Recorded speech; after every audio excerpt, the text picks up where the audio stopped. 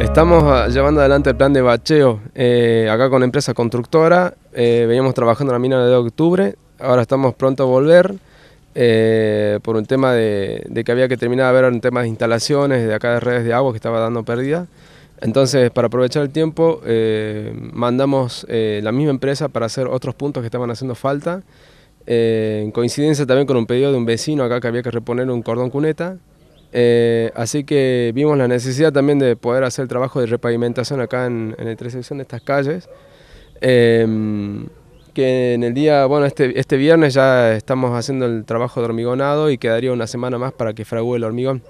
Hormigonan este viernes, eh, después se mantiene, digamos, el, tránsito cortado una semana más para que fragúe y, y después veremos más adelante de poder hacer alguna otra reparación acá que sea importante en el barrio, en principio tenemos que volver nosotros a terminar de hacer trabajo en la mina 9 de octubre.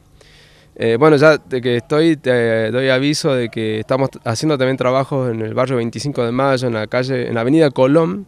Estamos haciendo eh, la reposición de, adoquines que estaban ya desacomodados, bueno, por un tema de pérdidas de agua, por un tema de conexiones, de, este, conexiones domiciliarias. Eh, entonces estamos eh, con otra empresa haciendo el trabajo de, readoquinado y dejar en condiciones la avenida. Eh, se hicieron trabajos también de, nivelado con ripio en la calle Blas Pareras. se están haciendo también distintos trabajos a pedido del centro vecinal de forma participativa en, en lo que es el Zoom en la cancha de básquet eh, la gente alumbrado también está viendo el tema de, de dejar en condiciones la plaza. Se están haciendo varias cosas, digamos, ahí dentro del barrio 25 de Mayo.